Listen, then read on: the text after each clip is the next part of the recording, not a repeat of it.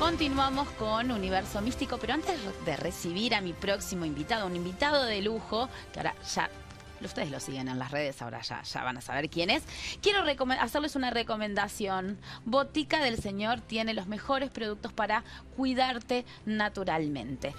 Acá tenemos la presentación de centella asiática que nos ayuda a todo lo que tiene que ver con varices, eh, pesadez, hormigueo, también con calambres en las piernas. Es excelente para eh, la celulitis, así que increíble. Aparte, Lau estuvo haciendo unos pequeños tips que lo podemos poner en nuestra crema diaria, así que no te puedes perder este producto para llegar excelente al verano. Y también tenemos el más 40, que el más 40 nos sirve, es ideal para las mujeres que estamos atravesando la menopausia, que nos va a ayudar a equilibrarnos, sobre todo el tema de sudoración excesiva eh, y todos, los, todos, todos estos trastornos que llegan cuando pasamos los 40. Así que ya saben, eh, Botica del Señor, la manera natural de cuidarte, lo encontrás en Tristán Narvaja 1518 y también podés llamar al 2403 1761.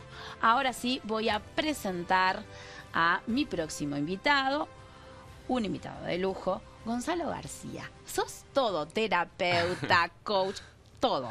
Gracias, gracias, gracias por este espacio. Eh, bueno, me dedico específicamente a... Sí, soy terapeuta hace muchos años, 17, eh, y hace 17 años que ando en este mundo investigando sobre todo. Eh, actualmente tengo un, emprendimiento sobre meditación y autosanación, porque creo que son herramientas necesarias y fundamentales en la vida de todos.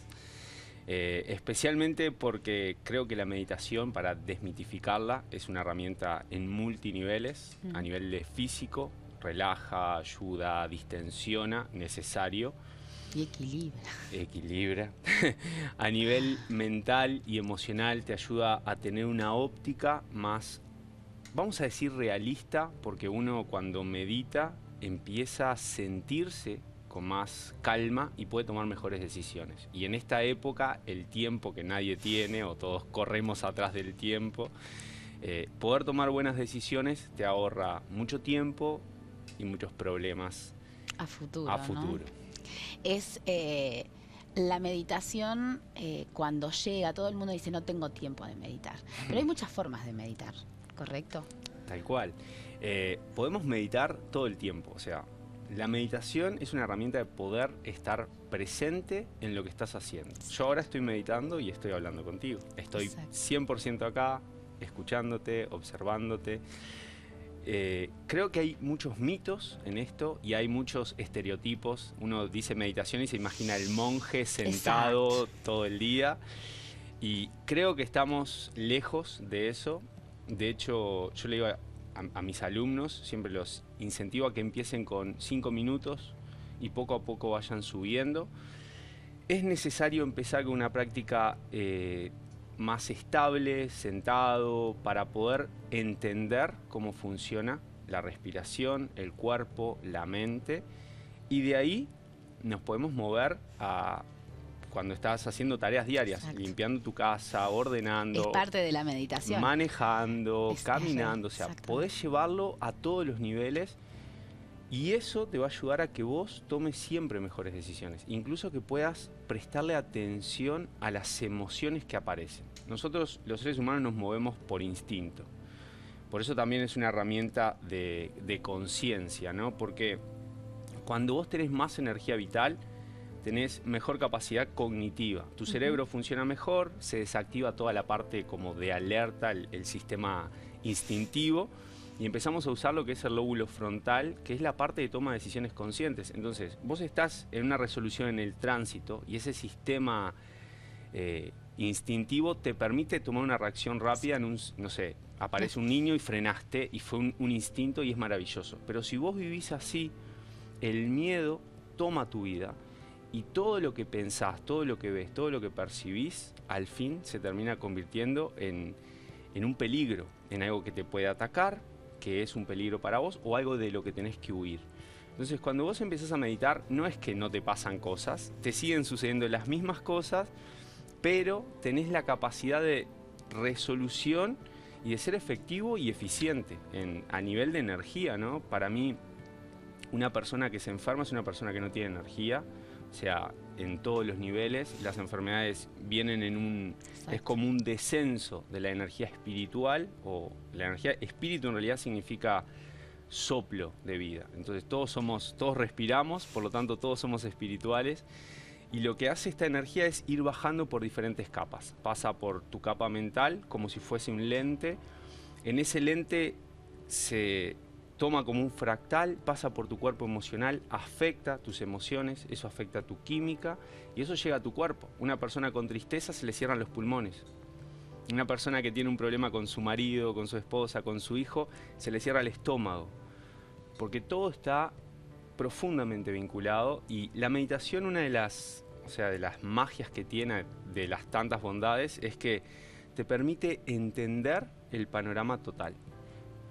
Vos cuando estás triste, la vivís esa tristeza, sabés que se te va a alojar en los pulmones, pero podés tomar una determinación de salir de ahí y de elegir otra cosa. Que esa es, para mí, la, conciencia, es como el último estado de la meditación de decir, ¿para qué es la meditación? Y es una, para mí es una herramienta de conciencia. El aquí y en el ahora, ¿no? Estar aquí. Eh, tenés un lugar donde formás terapeutas. Así es. Bueno, eh, uso la red social Instagram sobre todo, que es... Una que tenés una cantidad de seguidores. Tengo Muchísimos. Varios.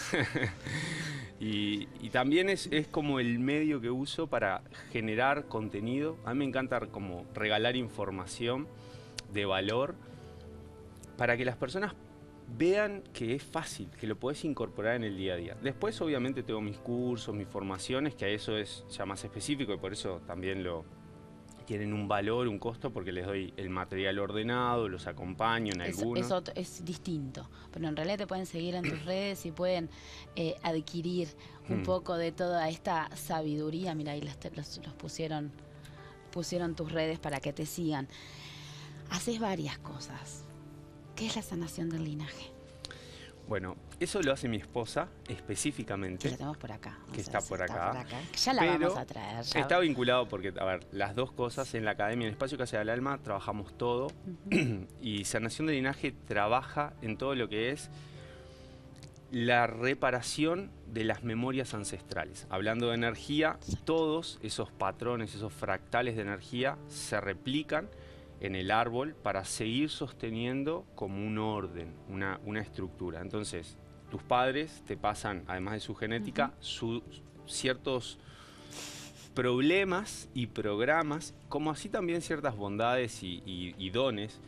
Entonces todo eso se configura en tu psique y a través de lo que de la sanación del linaje lo que hacemos es ordenar eso, entenderlo cómo eso funciona en tu vida y al liberarlo vos vas liberando liberás a tus ancestros, estén o no estén, ese, ese fractal de energía se, descomprime y obviamente liberas tu vida y la de tus futuros hijos, nietos, y familiares. Es, magia pura, eh, eh, realmente. Parece magia, pero es, es, una, es, una cosa, es una ciencia, o sea, se puede comprobar, y te lo digo porque trabajo con esto hace muchos años, te puedo decir es magia, no se ve el proceso tangible de cómo se hace, pero se ven los resultados. Ves en las personas cómo cambia el, vínculo entre padres y hijos, eh, padres, madres, entre esposos, en el laburo, que lo hemos hecho en empresas esto, cómo se mueven los diferentes vínculos. Y no quiere decir que todo color de rosa, ¿no? sino que una vez que uno resuelve eso, tiene la capacidad de poder decidir sin ese patrón como que ves más claro, ¿no? Te puedes tomar, eh, lo enrabo un poco con el tema de la meditación, en aquí, en el ahora, y estoy viendo claro cuál es la decisión que tengo que tomar, ¿no? Así es. Como que pasamos el, la mano en el vidrio empañado. ¿Cómo llegaste a esto? ¿Cómo, cómo, te acercaste? ¿Cómo, ¿Dónde estuvo decir, bueno, por acá? El clic fue, yo a los 19 años estaba viviendo en Canadá, a los 20 años me había ido, vivía allá y entré en una profunda depresión, profunda depresión. Estaba lejos de mi familia, las cosas no me estaban saliendo bien para nada, o sea, los papeles no llegaban, estaba sin laburo, muchas cosas. Caigo en depresión y en ese momento yo ya hacía Reiki, ya había experimentado otras técnicas y me acerqué a un templo eh, budista de meditación vipassana y ahí empecé a meditar tres veces a la semana. Y en dos semanas ya empecé a pensar diferente. Al mes ya estaba mi vida bastante más ordenada y decidí venirme a Uruguay. Fue como, si te lo digo de una forma así media mágica, fue un llamado de, de mi alma, de mi espíritu. Esto es lo que tenés que hacer. O sea, me pusieron todo para ahí no es que salí de la depresión así nomás, porque seguí con depresión, pero tenía mucho más claridad. Y dije, bueno, me voy de Canadá, dejo mis papeles, dejé todo a medias. ordenarte. Y me vine, pude elegir. La depresión, una de las cosas que te hace es que no te permite tomar acción, no te permite. Estás ahí como una meba en la vida. Entonces, cuando vos empezás a tener una determinación, empezás a moverte desde ahí. De ese espacio, ese espacio mental, emocional que yo tenía. Y ahí, cuando volví a Uruguay, y me adentré a estudiar esto, que estudié control mental, crecimiento personal, metafísica, o sea... A ver, es, sos sumamente, tenés muchísimas herramientas. A mí me encantaría poder invitarte nuevamente para poder hablar de una cantidad de cosas. Nos quedamos cortos. Bien, bienvenido, bienvenido y me encanta, sí. y primero agradecerte por estar acá agradecer a tu señora también que te acompañó, que también la vamos a invitar próximamente a hablar un poquito. Y, gracias, gracias por estar acá y, por abrir y por mostrar que no es tan difícil meditar, que, que hay herramientas que son prácticas y al hacerlos en una red social también les estás haciendo llegar ese mensaje de que tenemos las herramientas, solamente falta ponerle un poquito más de voluntad o, o solamente prestar esa atención y decir, bueno, no es tan difícil, ¿no?